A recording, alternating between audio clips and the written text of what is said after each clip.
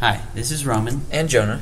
and throughout Tim Burton's Alice in Wonderland, there's a reoccurring theme of nothing is impossible if you can believe it can happen.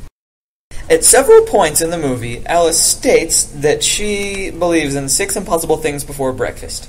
In fact, at the end, she even lists them. Six impossible things. Count them, Alice. Throughout the movie, impossible things happen for seemingly no other reason than to prove that impossible things can happen. Like the uh, eat me and drink me scene in the beginning, right after she falls down the rabbit hole.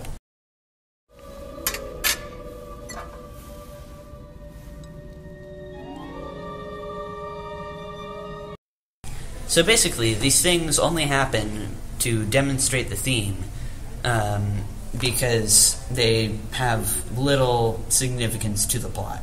Finally, at the very end of the movie, we see Alice becoming a sort of explorer with her father's company. This represents our theme because it would be virtually impossible for a woman at that time to do such a thing. In conclusion, the theme of this movie is that anything is possible if you believe it can happen. This is demonstrated throughout the movie by such things as Alice says things are impossible and they happen, and sh- a bunch of other impossible things happen, and she does something that would be impossible for someone at that time of her gender. Thanks for watching.